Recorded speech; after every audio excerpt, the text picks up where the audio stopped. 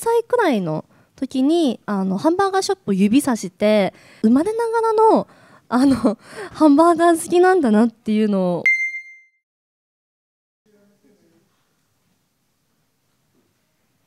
さあ堀さんというとハンバーガー大好きなんですよね？もうめちゃくちゃ好きでもう一時期はハンバーガー屋さん巡りとかもしてたくらい好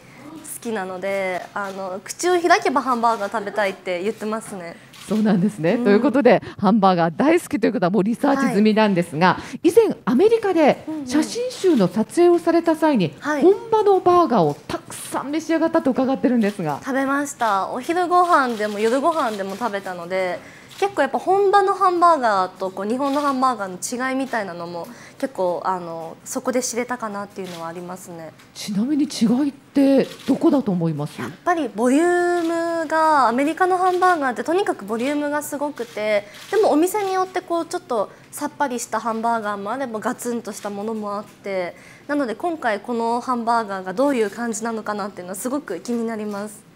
あのハンバーガー好きというのはもうここまでね、はい、いろいろお話伺ってると分かってきたんですけれども、はい、じゃあそもそもバーガーを好きになったきっかけって何なんでしょう？なんかあの幼少期の育児日記が出てきた時にあの私が3歳くらいの時にあのハンバーガーショップを指さしてなんか私が食べたいみたいなことをわーわー言ってたみたいなのが育児日記に書かれてるのを見て確かに私何かあることにハンバーガーとかポテトとかを食べたいってすごく言うんですよちっちゃい頃からなのでその日記を見た時にあ私はもう生まれながらのあのハンバーガー好きなんだなっていうのを知ってなのでまあ自分でも納得というかもう知らないうちに好きだったっていう感じですね。なかなか育児日記にハンバーガーショップを指さしていたっていうのは書かれてませんからね。私の育児日記ちょっとなんか変わってて 結構お母さんに聞いちゃいますね。これどういうこと？みたいな。